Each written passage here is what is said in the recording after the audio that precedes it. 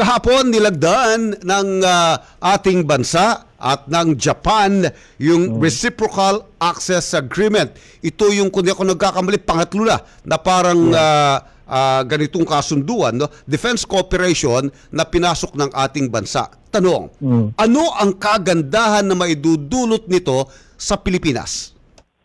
Well, maraming ah, benefits o magandang idudulot ito sa Pilipinas. Unang-una, nagpapalakas talaga tayo dahil nga hindi ganun kasing laki yung armed forces natin kumpara doon sa kapitbahay natin na napakalaki, no?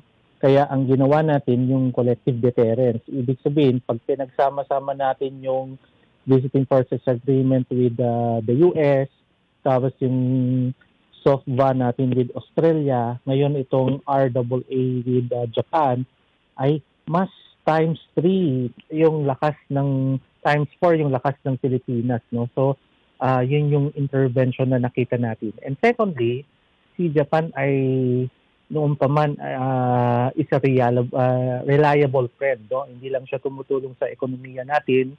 Nag-offer din siya ng ah, overseas ah, security assistance para mapalakas yung military modernization natin.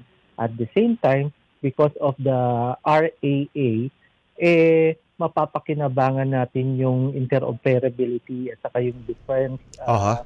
uh, strengths nila dahil nakasaad doon sa agreement na yun, although i- i-enact pa ito ng ating uh, uh, kongreso, no? O ng Senado, no? At ganoon din sa kanila, eh yung kapag nagkaroon ng problema, ah, halimbawa digmaan, eh pwede natin silang hingan ng tulong, pumunta sila dito at makiki ah, sabay sila sa plano ng Pilipinas kung ano man yung plano ng ating bansa.